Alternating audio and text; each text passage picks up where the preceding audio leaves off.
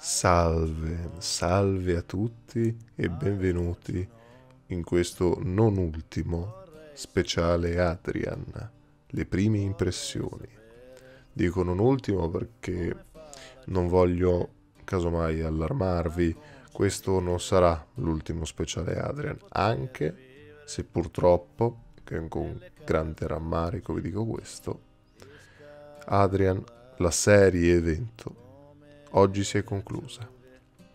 Con un qualcosa di poetico, devo dire la verità, perché se ci pensate bene, era iniziata proprio in questo periodo, più o meno.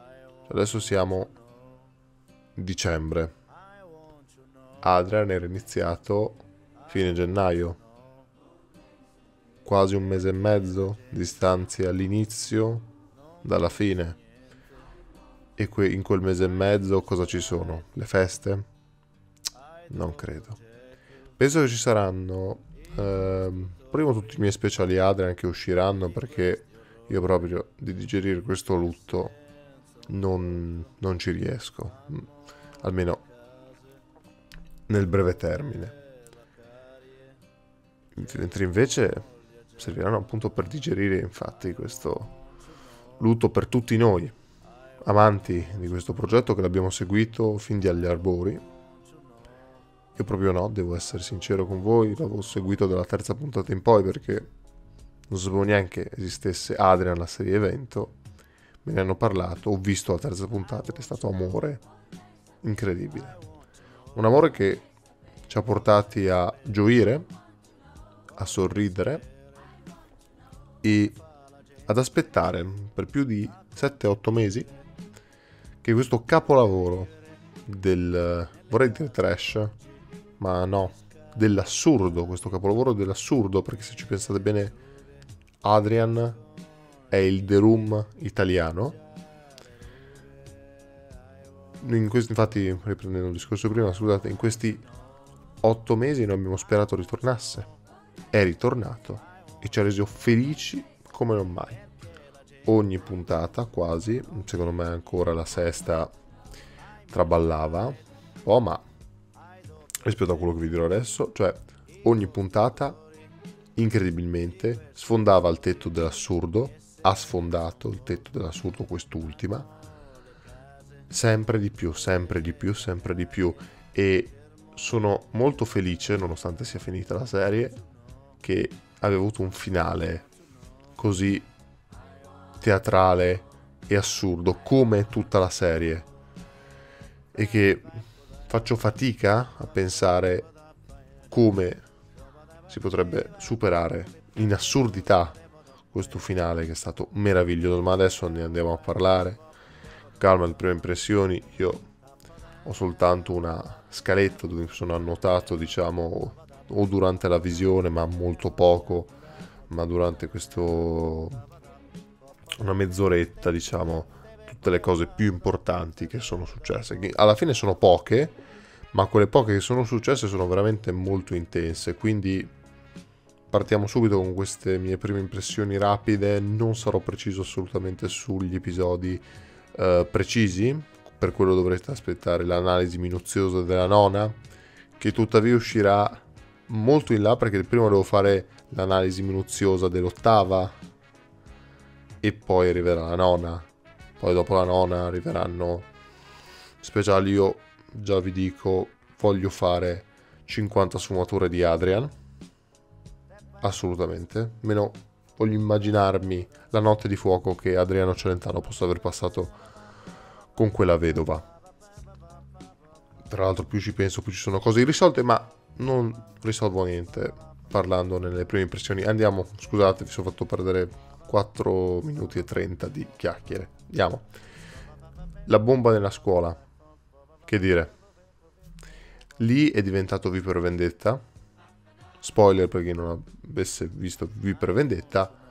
Uh, uno degli eventi, uno degli atti malefici che il governo di V per Vendetta commette eh, nel film è appunto uh, far ammalare con questo virus incredibile eh, tre punti strategici, una stazione metropolitana, la riserva idrica e una scuola. Qui per, sensib- per devastare le cose, per incrementare la paura, mettono una bomba in una scuola.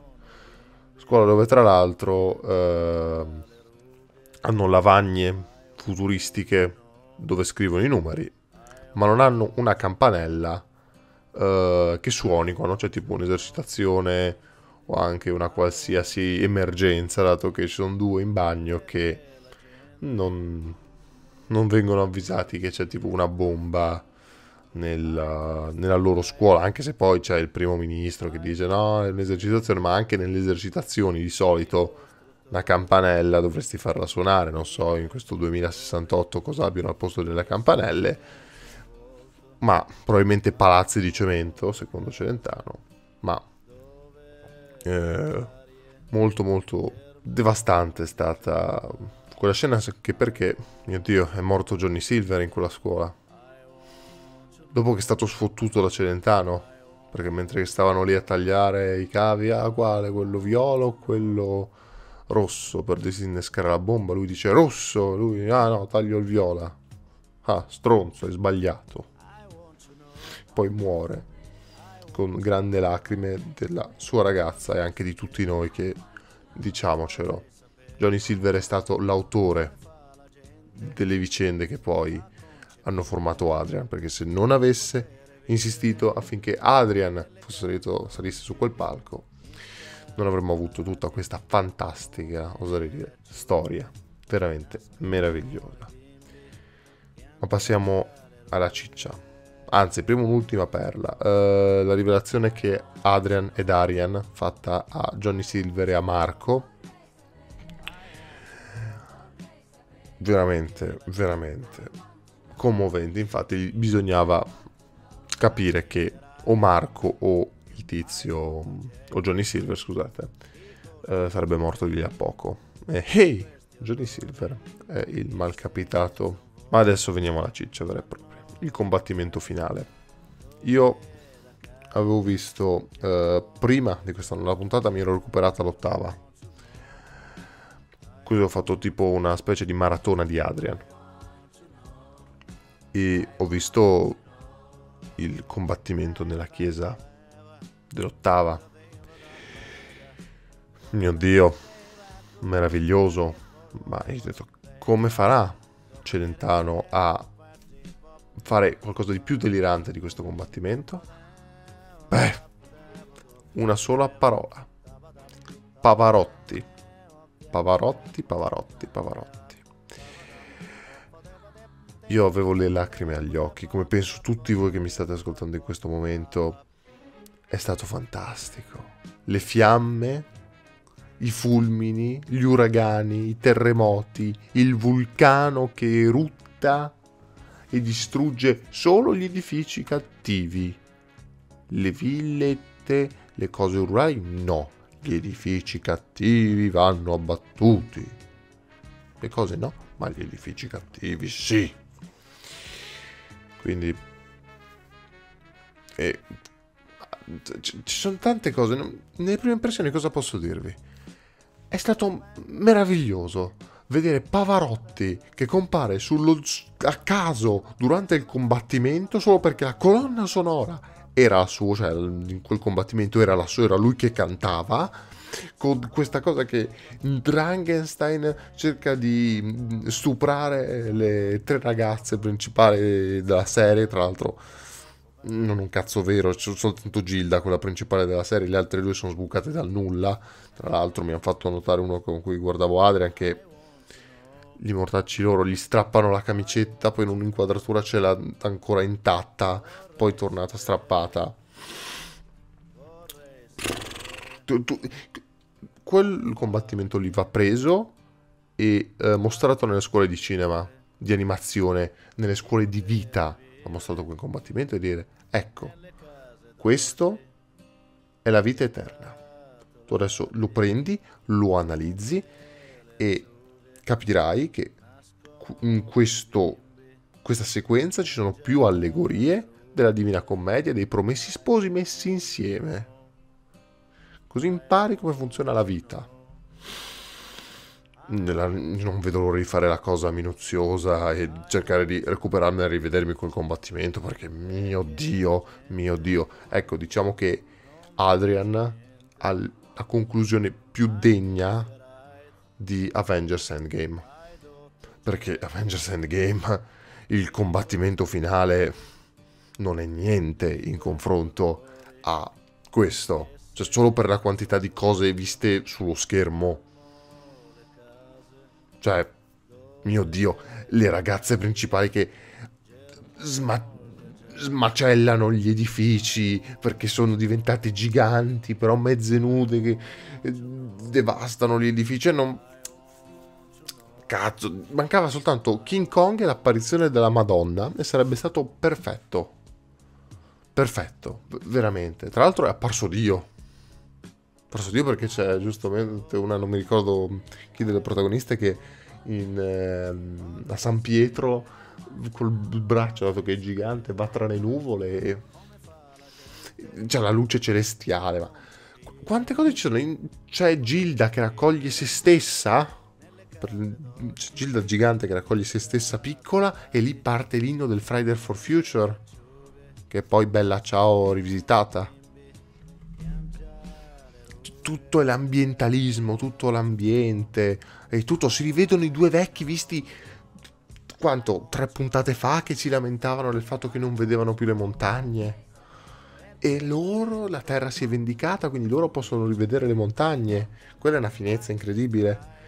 Finezza come eh, scoprire che la voce narrante che veniva a cazzo durante le puntate come Celentano, durante le prime quattro puntate del pre-show, era quella di Marco, che da anziano racconta ai suoi nipoti le gesta di Adrian. E quando questi gli chiedono, ma è invecchiato come te? Si vedono questi tre fantasmi di forza, come in Star Wars episodio 6, che si allontanano, che in realtà sono Adrian, Darian e la volpe, che si allontanano verso il sole, vanno verso il sole e compare la scritta Not the End. Cosa vuol dire questa scritta? Ce lo potrà dire solo Dio, quindi ce lo potrà dire solo Adriano Celentano. Cioè che lui sperava davvero che ci fosse una seconda stagione o che non è la fine nel senso che anche se la, il bene ha vinto il male è dietro l'angolo. Ma strano perché il male è stato pietrificato da un fulmine. Pietrificato da un fulmine durante la battaglia finale. Ci sono tante cose da dire, tante cose che mi hanno lasciato con la bocca aperta, per esempio scoprire che era Ken il guerriero alla fine la storia, cioè che ci svelano come Adrian ha imparato le arti marziali li imparava con Drangenstein e quindi loro si conoscevano fin dall'inizio, quindi questo è lo scontro anche quasi fratricida, cioè non fratricida nel senso che sono fratelli, ma nel senso che si conoscono da tanto tempo, da quando erano bambini. Mio Dio, veramente, cioè, come ammazzano... Ci sono tante cose, le bombe messe dalla Mafia International per uh, scatenare la, la, cosa pubblica, la paura uh, contro Celentano, il sindaco, il sindaco di Milano, il sindaco di Milano che uh, non so se muore, ma penso di sì perché non ritorna poi durante la, la serie, muore con la sua segretaria che era sempre innamorata di lei, di lui, tra l'altro ancora un dialogo meraviglioso, ma ci arriveremo nell'ottava, che muore come in via col vento, non nel senso che nella maniera in cui si muore in via col vento, ma come la locandina di via col vento e con la stessa musica sotto. Lì, lì, ero, lì ero disperato, che piangevo incredibilmente, sto andando anche fuori scaletta perché me lo sono ricordato adesso. Ma che capolavoro, ma che capolavoro. Tra l'altro gli arrestati quelli, perché quelli di da, tu sindaco incentivi quelli di Adrian che fanno violenza e per questo ti ammazziamo. Perché noi siamo contro la violenza. Ma che cazzo di ragionamento è? Ma vabbè, è Adrian, sono io scemo che cerco di trovare un collegamento, poi vabbè, Sono tante robe, Orso e Carbone, i due agenti migliori del potere, che non sanno mentire davanti al primo ministro? A caso così, che si incespicano? Dovrebbero essere agenti segreti ma non sanno mentire? Non lo so, non lo so ragazzi. È tutto molto... È corposa questa puntata, è veramente ciccione. Infatti viene quasi abbattuta la sua epicità dagli ultimi... Quanti? 20 minuti? Cioè, io li ho percepiti come 20 minuti, ma in realtà saranno 10 al massimo di videoclip di Celentano. Quello è orribile rispetto a tutto quello che abbiamo visto prima. Ma mm, siccome non voglio farla tanto lunga e anche perché vorrei mai annoiarvi in vista del, dell'analisi minuziosa dell'episodio, vorrei soltanto esprimere le mie impressioni a caldo per quanto riguarda il discorso finale della Pastorelli. Sì, si va nell'ambito pre-show, anzi post-show in questo caso, ma io credo di non aver mai sentito un discorso peggiore in Adrian e ce ne sono stati. C'è stato quello di Adriano Celentano che si incazzava con il pubblico a casa perché hanno regalato a Adriano un flop micidiale nelle prime quattro puntate e a quanto pare è rimasto così. Il discorso della Pastorelli su lui è una persona e mi ha sorriso, ma perché lui siamo e ci scambiamo vibrazioni, lui è una persona e andrà al matrimonio di quella pestora, tutto quel dialogo lì io pensavo fosse il peggio, ma invece no. Questo monologo alla fine della Pastorelli che tenta disperatamente di andare a coprire i buchi di trama e tutto quello che noi abbiamo criticato di Adrian la serie evento. Ci ha detto che, insomma riassumo velocemente quel che mi ricordo, infatti sono le prime impressioni, perdonatemi, ma che Adriano Celentano non è egocentrico, non si è paragonato a Dio. In realtà lui si è paragonato a Superman. Lui è un supereroe. Adrian è un supereroe, ha i superpoteri, anche Superman ha i superpoteri, ma non è che andiamo lì a dire eh, Superman sia un egocentrico. Ma che cazzo dici? Cazzo dici? Superman non scrive il fumetto di Superman Adriano Celentano scrive Adrian, ha scritto Adrian, spero scriva anche la seconda stagione, ma cioè è lì sostanzialmente una lieve differenza. Cioè tra l'altro, se vogliamo dirlo, Superman è il supereroe più noioso in assoluto, perdonatemi fan di Superman che sicuramente mi starete ascoltando eh, a frotte, ma mio Dio, e tra l'altro Superman non può fare un cazzo contro Adrian, perché non so se lo sapete, Superman non si può teletrasportare, non può cambiare il tempo, non può ehm, provocare terremoti, non può evocare Pavarotti nel bel mezzo di un combattimento. Pavarotti, mio Dio ragazzi, è stato meraviglioso.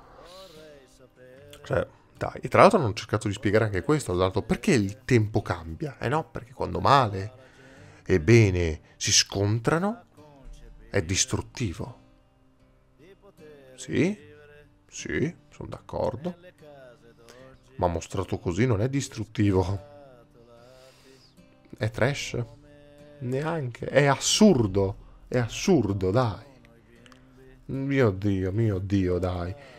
Come si fa? Come si fa Gilda gigante che, con ba- che asfalta i, i grattacieli. Ma tra l'altro, no, tra l'altro ci ho pensato adesso, il sindaco in realtà è vivo perché annuncia alla fine che Milano è la città del futuro.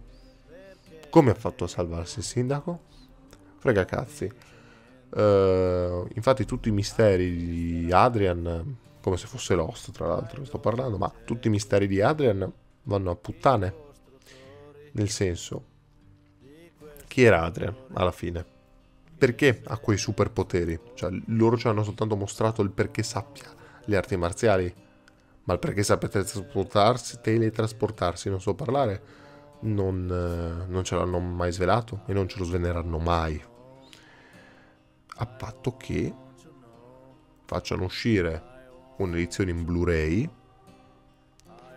con all'interno la decima puntata e le spiegazioni di Adriano Celentano. Io la comprerei una roba del genere. Voi no? Con questo quesito vi saluto.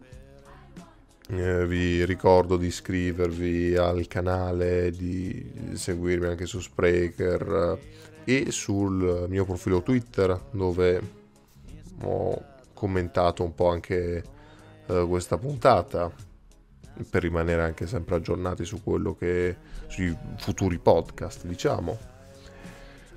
Vi ricordo anche di eh, commentare perché il vostro commento è la cosa che preferisco in assoluto, mi piace molto questa discussione che si crea sempre tra l'altro sotto gli speciali Adrian, anche perché ormai è l'unica cosa che faccio. Niente, voglio sapere assolutamente la vostra opinione o prima impressione su questo ah, ultimo episodio di Adrian, la serie evento. Fatemi sapere assolutamente. Noi ci vediamo al prossimo contenuto che caricherò su questo podcast, non so cosa sarà, e al prossimo speciale Adrian che uscirà giovedì.